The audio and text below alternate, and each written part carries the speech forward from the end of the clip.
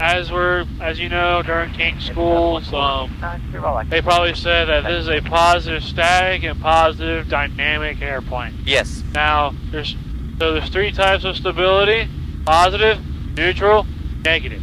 Positive means when an aircraft is disturbed, it wants to return back to where it was originally. So think of like a bowl, or like you're in a valley. You go up the valley, you got oscillation back up, oscillation back up, but over time those oscillations will, will decrease and be back towards the center. Yeah. Neutral is let's say like like you're moving a ball across the table. Like it's kind of, like when it's disturbed, it's kind of just gonna stay there. Yeah. And the negative is if it's disturbed, it's going to continue in that direction. So think like a ball, like you're pushing a ball down a hill, Yeah. or like a big boulder down a hill. That's kind of that's kind of the best analogy I can give it. Now the difference between static and dynamic is static is the aircraft's initial response.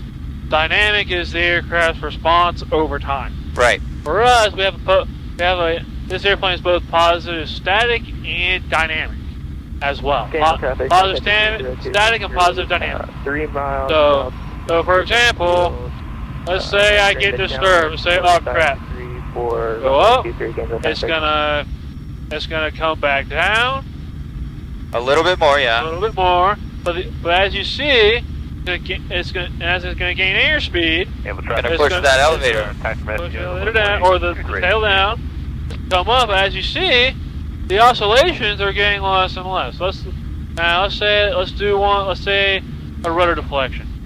All right. Yep. It's gonna it's gonna oscillate, and then it's gonna and then it's going to straighten itself out. Same thing if if I get like a disturbance, say, whoop, it's gonna A like roll, yeah. it's gonna slice here, slice back, and then it's gonna go back to its ori- its original position. All right, you have flight control. I got flight controls. Yep. So Cool. that's all I wanted to show you. So saying, hey, this is a very stable airplane. It's Yes. it's kind of like, hey, like this airplane is very stable. This, this airplane is very comfortable to be in. So, especially for like people who are like extremely nervous, Right. it's kind of what I just say. Hey, this airplane will not break.